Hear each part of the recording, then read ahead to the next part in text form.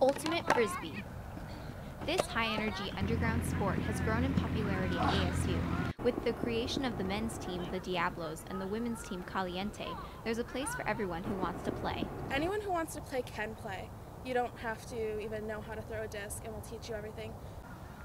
Both teams practice Mondays and Wednesdays for about two hours. The rigorous practices make for successful teams at competitions. ASU senior Andrew Salinas knows that practice is key. Even if you're not that great when you start, like like me for example, just keep coming out and you know you, will uh, you'll you'll get better. This is a game that anyone can learn how to play. The sport is played with two teams and one frisbee. The goal is for a player to catch the frisbee while in the end zone to score a point. If the frisbee is dropped during play, the opposing team takes control.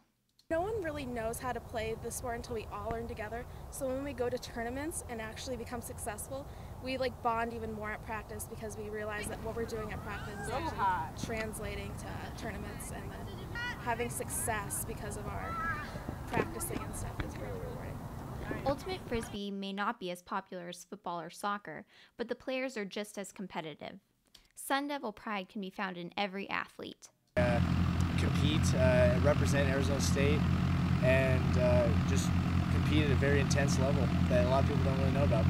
Students looking to stay in shape in a creative and interesting way are encouraged to look into the sport. The sport itself is so exciting, just running and catching the disc, and it keeps you really fit. The bond between teammates is strong and creates many lasting friendships.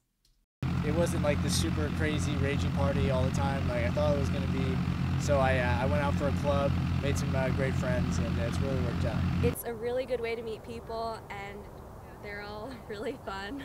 From Tempe, this is Tessa Ferguson.